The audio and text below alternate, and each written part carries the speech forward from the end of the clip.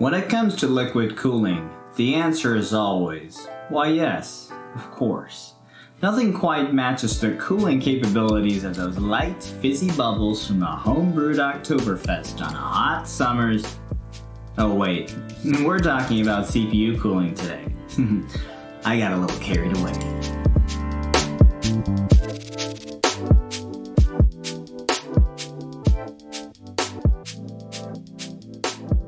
Hey there, and welcome back to Machines and More. Well, it's summer here in the Northern Hemisphere, and it seems like we can't get enough cooling lately. I think few would argue against the cooling capacity of beer, but I'm just slightly concerned about the microbial growth uh, for use in a custom loop. Uh, fortunately, today we're talking about closed loop cooling, and especially closed loops in the Cooler Master NR200 so you won't have to worry about supplying your own coolant. We just got done with looking at air cooling thermals, and if you recall, the optimal arrangement was two case fans exhausting out the top with the U12A's not Noctua NF-A12 fans pointed towards the IO end of the case to exhaust out the rear. Now, before we jump into the testing, I just wanted to show those of you that were curious. Uh, with a 30 millimeter thick radiator and 25 millimeter thick fans, you can fit an HDD on the PSU shroud. There might be a negative effect on thermals due to the impeded airflow, but it fits. Now originally I was going to discuss NR200 liquid AIO cooling and do a wrap up of air cooling versus water cooling in one video. However, as it turns out, there is a lot of information to present and as such, I'm still doing a final round of uh, roundup of air coolers, including the Scythe Fuma 2. Um, so I'll stop short of making an analysis of air versus liquid cooling, at least for this case. And today I'll represent the data from the U12A in a comparison. I did want to get the data out as soon as it was complete, so I'll be doing that final air versus liquid cooling summary and recommendation shortly. Fundamentally speaking, water cooling is just a more active form of air cooling. Now, air cooling takes advantage of usually liquid-filled heat pipes, which act as a passive medium to transfer heat to a heatsink, which has fans mounted to it in, in order to exchange heat with the surrounding cooler air um, as it passes through the heat fins. Now, liquid cooling utilizes a pump actively recirculating coolant to transfer the heat to the radiator which also has fans mounted to it for heat exchange. So even though it's water-based cooling, how fans are mounted, how many fans are mounted, and the particular idiosyncrasies of the case it's being used in will have a big impact on performance. Typically speaking, the pump design and power has a lot less thermal impact than the radiator design. Liquid doesn't have to move at a rapid rate in order for effective cooling to occur. And even if you could move liquid in your system at a million miles an hour, you'd just be re recirculating hot coolant, unless your radiator has the thermal potential to exchange off that heat. Uh, many AIOs on the market with the pump in the CPU block are all Asetek pumps, so whether you buy a Corsair or an NZXT Kraken or an EVGA, the pumps are all very similar. Uh, so the more surface area that is available for heat exchange, in your radiator will will make be the difference uh, in, in how effective your cooling is. And that's also contingent on your fans being able to effectively pass air through those heat fins. Now, a pretty popular and excellent all-in-one cooler is the NZXT Kraken line of coolers. So today I'll be testing with the X52, which takes 120 millimeter fans, two of them, just like our U12A does. Now, I am aware that there's a newer X53 model, but if you don't care too much about lighting effects or a newer pump design, there are a few tangible benefits of the older model over the newer one. And by the way, the lighting effects don't really matter at all in this case, right?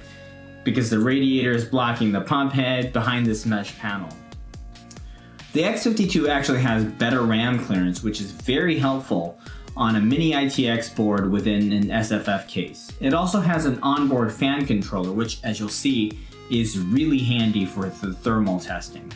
Uh, during the days that my AIO testing was done, Gamers Nexus actually released a video highlighting some of the downsides of bottom mounted AIO radiators. Now, while I don't know the actual impact on pump life from trapped air pockets, I generally agree with Steve's observations, and I also modified my testing schedule by skipping bottom mount radiator testing in order to better focus on how to get the absolute best performance of whatever AIO you're using. And so that's why this video will be a multi-part series. In addition, I think many of you will be reconsidering vertically mounting your GPU in order to bottom mount the radiator. Um, the non-tempered glass version of the case only comes with a mesh side panel, which is actually the better way to mount the radiator in here. So side panel mount is how we'll be testing it. And for those of you without riser cables, it will also save you a little bit of cash. AIOs mount up pretty easily in the NR200. Simply mount the pump head to the motherboard mounts according to the manufacturer's directions, and then mount the radiator to the side panel. Uh, you can then mount fans to it based on the configuration you choose, either exhausting the hot air outside or intaking cooler air from outside. Now, Today I'll discuss when you might choose either configuration. I won't rehash my testing philosophy as we'll be using the same Blender render as in our air cooling testing in order to give a consistent thermal load. And also the same two fans in our two case fan air cooling testing. Uh, one is a stock Cooler Master Sickle Flow, and the other is the Noctua NFF12. So there are a few pointers to note here since we are testing with liquid cooling. Uh, so feel free to check out the air cooling test for a little more detail on the testing methodology. But real quick, I'll highlight the differences uh, for this test as follows. First off, since liquid and coolant has a higher specific heat than air, it takes longer for water coolers to hit thermal equilibrium. In my air cooling test, I was taking the final five minutes of the CPU thermals, but the reality is that temperatures were stable almost a few minutes in, and those temperatures stayed stable throughout the remaining time. So averaging the last minute of temperatures would have been materially the same as averaging the last five minutes like we did uh, for the air cooling test. For AIO testing, I did a few preliminary renders in this setup and I observed the liquid temperature in NZXT's CAM software and also the CPU temperatures. Based on how long it took the liquid temperature and CPU temperatures to stabilize, I landed on taking the thermal data from the last 100 seconds of the render. For the period in between tests for the air cooling, I did a minimum of 5 minutes idle time, you might recall. Uh, but for liquid cooling, I based it off of the CPU temperatures returning back to idle and also critically, I did not retest until the liquid temperature also returned to the same temperature as the start of testing. Now this took at least about 15 minutes. In all testing, the started liquid temperature uh, was 32 degrees Celsius. Otherwise, that same classroom render 2.82 was used, and along with the Unigine Heaven 4.0 for the advanced GPU included tests. Again, I'm testing with the Ryzen 3700X here on a Gigabyte X570 Aorus ITX motherboard. And since I wanted to maximize thermal differences for comparison against air cooling, I only did overclocked tests here. Lastly, since we already did thermal testing and have that baseline for noise performance, I decided to match that by locking the fans to the PWM setting which was around 67%. Um, that, that yielded a similar noise level of around 46.7 dBA. Matching the noise levels lets us get a more telling temperature comparison against air cooling and other configurations. For the test including the GPU, I locked fans at 67% PWM and the GPU fans at 75%, also to get a higher resolution comparison, and this yielded a consistent 50 dBA. So let's jump right into the data. First off, the 3700X was clocked to 4.3 gigahertz at 1.25 volts. Now I wouldn't take too much stock in the actual details of the noise levels because the radiator fans were locked the same speed and all the case fans spun at around 1200 RPM. For so for all intents and purposes and to my ears, the sound levels were all the same. Now, the best performing combination is the radiator fans as an intake, coupled with the case fans as an exhaust. We already knew from air cooling that top fans as exhaust would be an optimal scenario, so I was curious if that assertion would carry over here as well, given that the direction of airflow is on a different axis. Uh, but it certainly makes sense that the two top uh, exhaust configurations are the best. I think most of you would agree that the optimal airflow direction makes sense here too, right? Because intaking from the side gives the coolest air to the radiator, and it would also make sense for these case fans at the top to immediately exhaust that hot expelled air out. It's very refreshing to see that the data supports that assertion, and wow.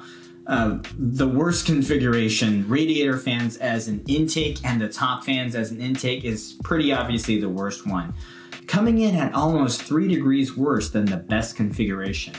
Now, I must admit, I'm a bit surprised that the exhaust and exhaust configuration performed this well, given that usual uh, logical common sense dictates in a case airflow should optimally flow in one direction. Uh, at least it shouldn't be fighting each other, right? Checking in against our best uh, U12A configuration, the X52 is neck and neck. With noise normalization uh, to match the U12A, you can see just how close the raw CPU thermals are. And since in our air cooling test, only the best exhaust and exhaust combo allowed the 3700X to run at 4.3 gigahertz while running Unigine Heaven, I also ran the same speculative test. I, I didn't present the thermal and noise data previously since there was nothing to compare it to. All the other air cooling configurations failed that test. Now, similarly, all uh, water cooling configurations failed that test except for one. And the only one to succeed was the radiator intake and the case fan's exhausting combination. So let's take a look how air is doing uh, against water here. In the super stress test scenario, it's hard to say if the U12A is better or the X52. Uh, the X52. It may have better CPU thermals, but it has an advantage in uh, GPU thermals. And this is because the intaking radiator is giving the GPU a cloud of hot exhausted air to work in. While the, when the U12A is as an exhaust, it's helping that GPU uh, by pushing hot air through its radiator. And that's what open air tests don't show you. There is a significant trade-off in closed spaces and especially in small form factor cases you will sometimes have to choose this GPU or, or the over the CPU or vice versa. And it really depends on your individual use cases. Nonetheless, it was great that both of these ideal CPU thermal scenarios completed the extreme overclock test. As you recall in the air cooling test we did uh, for the CPU only tests, uh, we used a slightly higher clock of 4.3 gigahertz, and then we threw in a GPU intensive benchmark uh, to simulate the worst load possible in a case, uh, downclocking the CPU to 4.2 gigahertz. Now this allows us to see how the GPU's airflow properties interact with the radiator's airflow. Uh, with both running at the same time. And, and here I ranked CPU thermals from best to worst. As you can see from the chart, the most acceptable configuration if you prioritize CPU thermals is also the radiator fans acting as that intake with the top case fans as the exhaust. Now the CPU thermals are best by a hugely significant margin. Now GPU thermals aren't that great, but they're certainly not the worst. Here it's not immediately obvious which configuration is best, but at a minimum we can safely rule out one option that is clearly the worst. The intake and intake is pretty terrible, and for a good reason. If we take configuration number one as our baseline, in the intake and intake scenario, we have three and a half degrees worse CPU thermals and a whopping five and a half degrees worse for the GPU. And let's not forget, the intake intake was also the worst for CPU only as well. So in this orientation, the case fans are fighting the intake airflow from the radiator and at the same time forcing hot radiator air into the GPU's path. So we can safely rule out this one for good. At the same time, we can't rule out any other configurations just yet. So I tweaked the fan curves within the noise target of 50 decibels. in order to get more resolution in this comparison. Uh, since configuration number one, which was the intake and exhaust, since it gave such good CPU thermals, I felt comfortable dropping the, uh, the PWM levels for the radiator fans to lower levels and taking that GPU fan to higher levels, uh, all while staying at 50 decibels. And since the GPU performed so well for the radiator exhaust and case fan exhaust option, I dropped the fan speed on the GPU in order to give us some noise room. Uh, in order to boost the radiator fan. So I was able to increase the radiator fan's PWM speed to 75% and still hit 50 decibels. Now comparing the three remaining configurations with some additional radiator fan and GPU fan 50 decibel combos, now we get a little more detail. These here are all sorted by CPU temps. Uh, there's no one clear winner if you weigh both CPU temps and GPU temps, but there is a pretty clear trade-off trend that's developing here. At the top of the spectrum, the radiator fans as intake and top case fans as an exhaust option, that's going to give you the best CPU thermals. And since the GPU's operation has little impact on the radiator fans pulling in air from the outside, it works best if your priority is CPU thermals. It performs acceptably well when you trade off some of those CPU thermals for slightly better GPU thermals as well. Now on the other end of the spectrum, if you prioritize GPU thermals, that exhaust and exhaust combination gives the best GPU thermals, albeit with the worst CPU thermals. The reason that the CPU thermals are the worst while the GPU is the coolest is that the exhausting case fans at the top are pulling that hot GPU air into the path of the radiator fans, which then run that warmer air through that radiator, resulting in less cooling performance from the radiator. At the same time, because there's so much upwards airflow directing the GPU exhaust away from the GPU, the GPU can then perform at its best because the exhausting radiator and these top uh, case fans are helping cooler to be drawn through the bottom and through the back.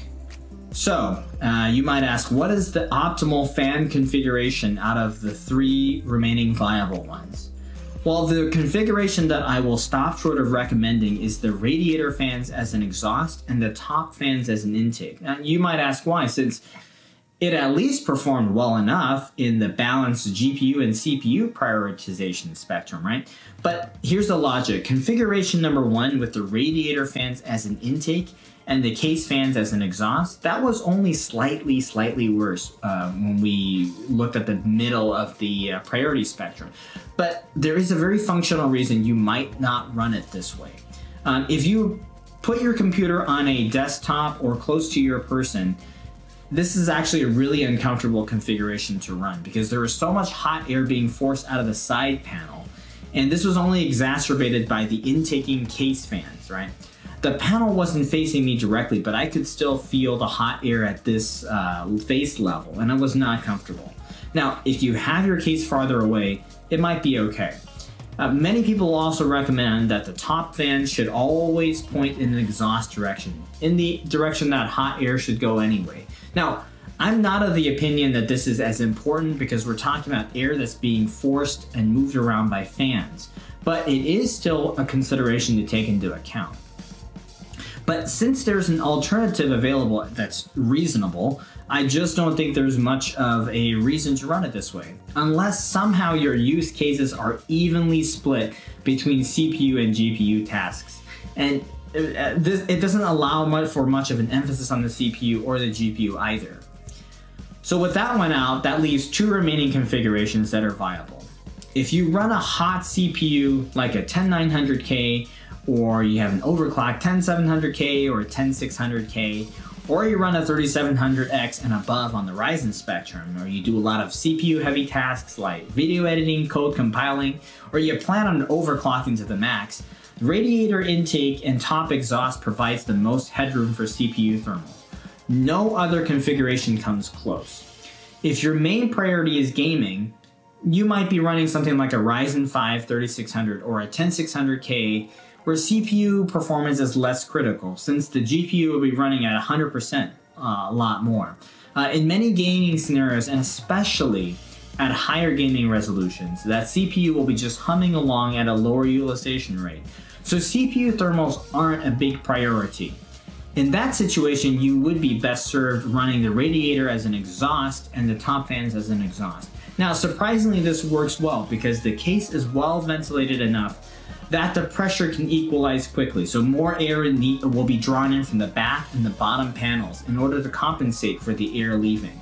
Now, I will caution that if your GPU is a hot one, like a 5700 XT or a 2070 Super and above, the penalty on your CPU will be greater and greater. Although, again, in gaming scenarios, this won't necessarily be a big issue uh, for the CPU. Now, the reason I tested a more average GPU here was that many of you might be running this uh, the same 1660 Super in this case, and this is to capture more of the average user setup. As I was playing around with the fan levels with the exhausting radiator, uh, configuration, I couldn't get anywhere near the best CPU temperatures, even when I ran those fans at 100%. And likewise with GPU fans running at 100%, and the radiator intake and case exhaust option, I couldn't get anywhere near the best thermals like what the radiator exhaust and case fans exhaust gave. Next up, I'm going to take things to the absolute max with the X52, and I'm also going to do a final air cooling roundup, including this Scythe Fuma 2 air cooler, and then do a final summary of air versus liquid cooling solutions in the NR200. Well, all this talk of heat and thermals is getting me to Tjmax. So I hope you don't mind if I sign off and go grab some of my personalized liquid cooling solution. So stay safe, stay healthy, and I hope to see all of you again soon.